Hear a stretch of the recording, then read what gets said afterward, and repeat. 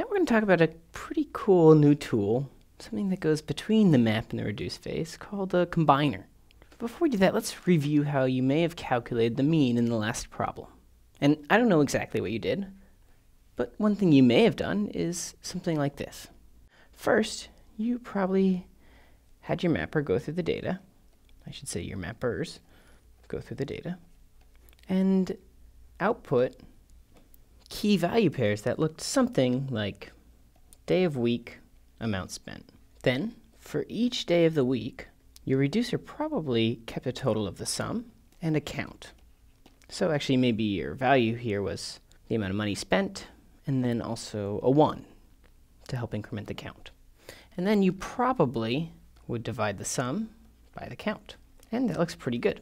But remember, MapReduce is happening on this whole network of data nodes. Each of these little boxes will pretend as a data node. And your data is spread out across all these different machines. And now let's think about where each of these three steps took place. So we're not going to focus on what happened, but where it happened. Well, for step one, the mappers were all over the place. There were mappers anywhere there was relevant data. But for any given day, well, the reduction had to happen on a single machine where that reducer was living. And actually, that's enough. We've already exposed a problem. Because if there's a lot of data, even if each individual output was simply a day and a number, depending on the number of records we have, transferring all of this all this data to this machine where the reducer lived, that's that's a lot of bandwidth that's going to be a lot of traffic on our network that we don't necessarily want and that it doesn't actually seem like we need to have. So what if we could do some of this reduction locally? What if on each machine, before we send our key value pairs off, off to be reduced, what if we could do some pre-reduction? And it turns out we can. And that pre-reduction happens with these things called combiners. And before you practice using combiners, let me try and sell you a bit more in their value.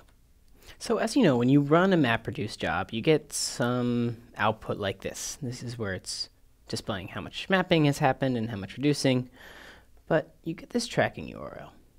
And if you open that URL in a browser, you get a job page. And that job page looks something like this.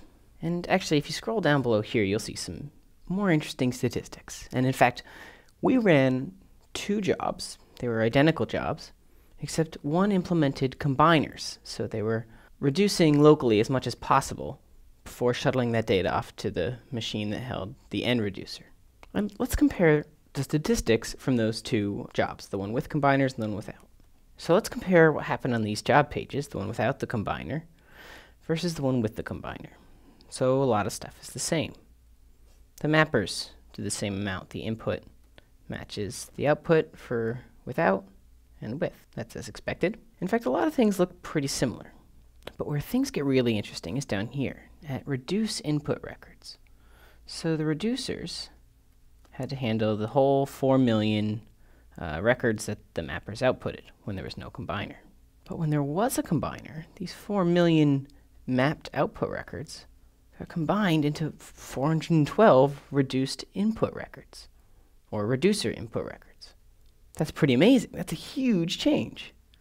in fact, the reducers had to shuffle far fewer bytes, and for time spent, with the combiner this job took 31 seconds to run, versus without where it took 43.